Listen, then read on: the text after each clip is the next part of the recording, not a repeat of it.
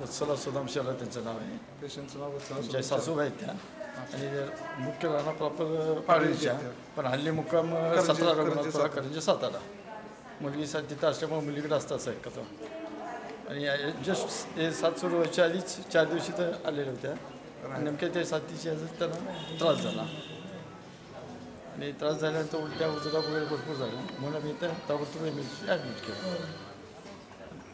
आणि काल हे होते ना आज सकाळी सव्वा सातला एक्सपायर झाले त्याच्यानंतर ते नगरपालिकेचे लोक टोपे साहेब रणदिवे वगैरे उपाध्यक्ष इथं भेट देऊन चार माहिती घेऊन गेलेले आहेत. मी राजेंद्र कामटे.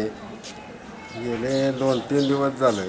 आमच्या कारंजात जी गॅस्ट्रो नगरपालिकेच्या व अधिकारी व पदाधिकारी यांच्या हलगर्जीपणामुळं जी साथ आलेली आहे आणि करंजेकरांचे जे हाल झालेले त्याबाबत सर्व हॉस्पिटल दहा हॉस्पिटलचा सर्वे केला. त्या सर्वेमध्ये अतिशय हाल लोकांचे इतके हाल बायकांचे हाल मुलांचे हाल इतका असतानासुद्धा नुसते पदाधिकारी एकदाच बघून गेले. काही निर्णय झालेला नाही. पैशाचा एक हजारापासून बहात्तर हजार दोनशेपर्यंत ही बिलं झालेली आणि ही बिलं भरायला सुद्धा कोणी आता फिरकं नाही ह्या कारंजाकडे आणि सद्यस्थितीत काही काही वेळेला कार्यकर्त्यांच्या ह्याच्यावर फोन केले जातात वरून. तर ते हॉस्पिटल आता ॲडमिटसुद्धा घे करंजा करंजातील गॅस्ट्रोच्या लोकांना ॲडमिटसुद्धा करून घेणार ते म्हणतात सिव्हिलला जावा आर्यांगल्याला जावा. अशा पद्धतीनं जर अडचण असेल शारीरिक जबरदस्त अडचण असेल तर आता काय करायचं? पुण्याशिवाय पर्याय नाही. आणि आत्ताच वत्सला सुदाम शेलार यांचासुद्धा आम्ही दोन तीन दिवसापूर्वी सर्वे केला होता.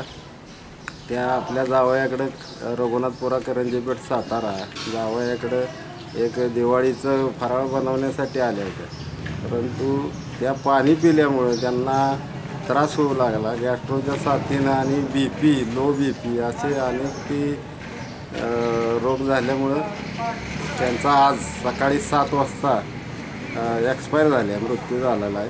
आणि त्यांना आत्ताच ॲम्ब्युलन्समधून त्यांच्या गावी पाडळी निलाम पाडळी येथे हलवण्यात आलेलं आहे. फार दुःखाची आणि खेदाची गोष्ट आहे. मी एकतीस तारखेला गुरुवारी दिनांक एकतीस तारखेला संध्याकाळी सात वाजता आम्ही करंजे येथे रुग्णांच्या सर्व नातेवाईकाची मिटिंग बोलवलेली आहे. बघूया काय होतं निर्णय. अंतिम निर्णय त्यावेळेला होईल काय